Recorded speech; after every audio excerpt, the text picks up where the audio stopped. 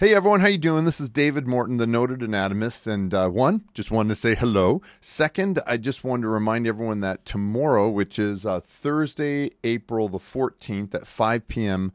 Uh, Mountain Standard Time, I'm going to be doing the second of my um, uh, live streaming uh, lectures on the cardiovascular system. The topic is Wiggers diagram, PV loops. I just spit on my keyboard.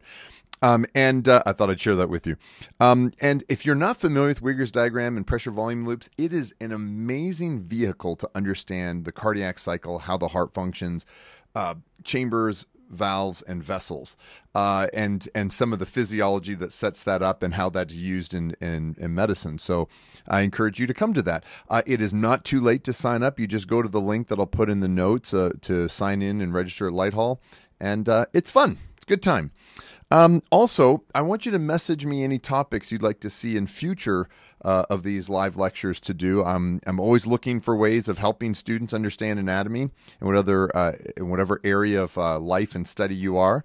Um, of course, I, I my focus is on health professional students, but I'm happy to hit topics um, that uh, people are interested in.